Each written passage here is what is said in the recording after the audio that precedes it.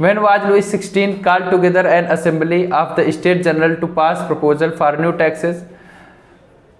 ये ऑप्शन दिए हुए हैं 5 मई 1789, 20 अगस्त 1640, 20 जून 1789, 4 अगस्त 1789 मतलब कि लुइस 16 ने कब स्टेट जनरल की असेंबली बुलाई थी? तीनों स्टेट को बुलाया था नए टैक्सेस के प्रपोजल के लिए।